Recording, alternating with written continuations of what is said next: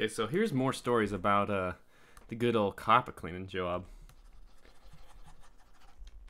It was it was an interesting system. We used a buffer machine, and everybody expected for me to have, you know, like a steam cleaning mechanism. So they're like, "Well, what the what is that thing? What are you buffing my floors? It's not a freaking marble. What are you why are you, why are you using the buffer?" I'm like, "Oh, it's an advanced new technique." You don't need to use heavy water to soak down to the carpets. If it does, steam cleaners, they get it soaks down to the wood and you know there's damage and shit. This is a shit I like regurgitated from from my boss. But uh, I don't know if any of it was true, but uh, you always had that confrontation that I always had to deal with. You know, I enjoyed using the buffer machine. It was kind of fun. First time I ever tried doing it. So you have to go, so a buffer, whatever. So it's like these handles this is like a behind this behind view. If you uh, you're holding on to it and it's spinning, the engines are spinning. If you go up, it'll go to the left. It might be the opposite. I don't really remember. If you go down, it goes to the right. So you just have you have to be careful on your level in order to just to not move at all to turn. You have to keep level. So the first the first time you let me try it, we were in this we were cleaning this ink, this printing press place, which was kind of hopeless anyways because there's freaking ink everywhere. It's like hopeless to to clean. I don't know why we're doing that. Um but uh so yeah, the first time I tried it, I instantly went Whoom! I couldn't balance it right and it went right into this photocopier machine. It didn't break it, but and then he just he just was like, "Well, maybe we'll try that again later." In the beginning i just would follow him to jobs and help him uh, just do random stuff like lift stuff or i would spray all around. And i always question i'm like why why is he paying me to do this? Uh, but eventually he just threw me on my own with no with, i wasn't ready. I don't think i was ready at the time. Um, he just threw me out to do jobs by myself. And eventually that was the cool part of the job is the independence and stuff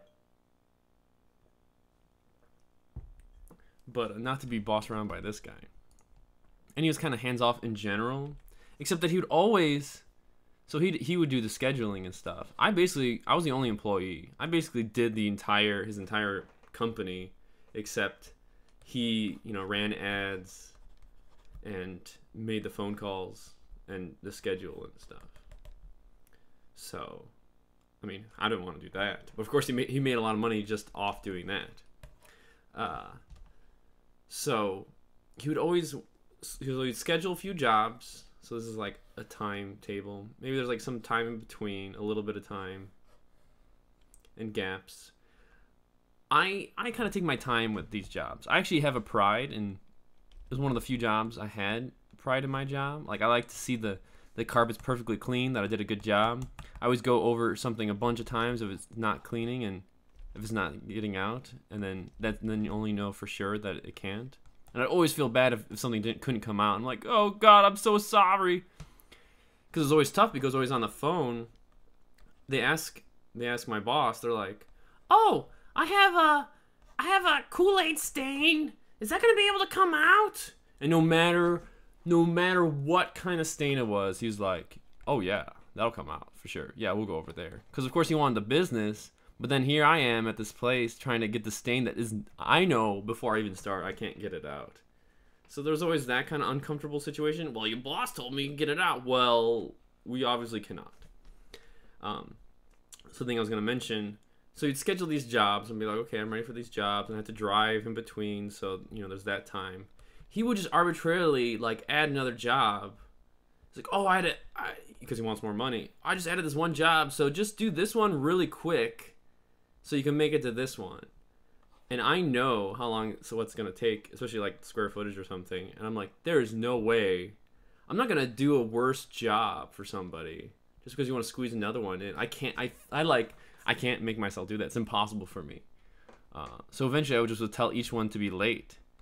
And i wouldn't be able to finish them all in a day. And then you get pissed off people like that. So it's just like even the part he was supposed to do he would screw up because he was just so greedy So there's a few interesting customer stories. Um, I'm gonna tell, tell them one more about my boss. So once in a while he had somebody else work with me, which I hated because he split up the percentages between us. And usually I could just do all those jobs by myself anyways. And usually the other person didn't really help much. Especially this one guy, he gave me this like so I'm maybe 18 or 19 at this point, and he gives me this like this really like nothing against fat people, but he was like fat and like just this missing teeth and stuff. This weird guy who was just really awkward and in person and stuff. He didn't know how to socialize, and he also didn't work really well. And I'm getting less paid less, and he's literally in my way sometimes. In fact, I knew one day that he was stoned because he was just like was super slow about doing everything, and I'm like, dude, the cord's in the way, like. You're just in my fucking way. God damn it. I'm like, are you stoned? I think I even asked him like that. Not like I was against weed, but I was just like, he's like, yeah, I just had a, like a bong hit, and I didn't think it was gonna be much, but now I'm like really stoned. I'm like, God damn it. what a shitty situation. He did sell me some cheap weed, which was actually pretty sweet at one point. Um, another job. This is the one I. This is one of my favorite stories about um, about this job. Um, let's see where to start. So this lady, she just scheduled for a later date because she had a crazy thing occur. As she told me later, um, I guess she was stung with a hornet in her throat, like inside her throat, on her throat, something like that. So she calls the like police or something like or ambulance 911 maybe and she's like oh i uh i can't i have this thing stuck in my throat and uh so there's this all this thing she talks about her ex-husband and i guess her ex-husband messes is affiliated with a phone company or something like that something really weird she's like she's like oh because the, the, the because of the phone line if i wanted to kill myself I wouldn't even be able to call you guys. So because she said that, they took that as a suicide call. And so they like busted down her door and strapped her down. And I'm only he- hearing this secondhand, so who knows what it's exaggerated for this. While her throat is like stung, just like ah, ah. They're like, "Do not kill yourself, ma'am. It's not worth it." and so they so she had this just traumatic experience just the previous day that was the day i was supposed to come for carpet cleaning so she rescheduled for the next day or i think it was the next day yeah i think so because she was like just so emotional and so i'm just kind of doing my job trying to clean and stuff uh, i'm doing the stairs right here and she's drinking jack and coke and she says it's it's my favorite combination drink. My girlfriends know that I love Jack and Coke. And she's just rambling about stupid stuff and telling me all these stories. She's just like venting like crazy, telling me these weird other weird stories, which my favorite one of all is that she's like, "Yeah, I don't I don't keep shrimp in my freezer anymore." And I'm like, oh, "Okay." Yeah, because because my ex-husband, he loves he loves shrimp he comes, he'll sneak into my house at night through my window and go into my freezer and steal my shrimp.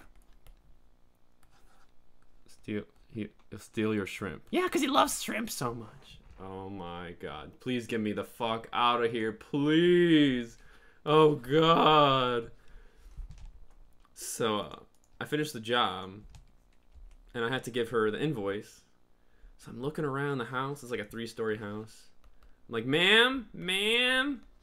And because she was talking about the suicide thing and she was just fucking crazy too, I was just like, oh shit, I hope she didn't fucking kill herself or some shit. Like this already's been weird enough. Oh god. But I finally did find her. I I was about to leave, but then I, I thought to look at the on the porch, and there she was on the porch, like in like a laying like a laying chair, just passed the fuck out, just laying there. And I'm like, I shake her, which is kind of weird for me to do because I usually don't like doing that, but I need to make sure I get fucking paid. I'm like, ma'am, ma'am, she doesn't wake up. I mean, far as I know, she could have actually been dead, but, but, uh, so I just left an invoice on her table. Hopefully, we got paid later for that. I'm sure if, if we didn't get paid, I would have gotten yelled at by my boss, anyways.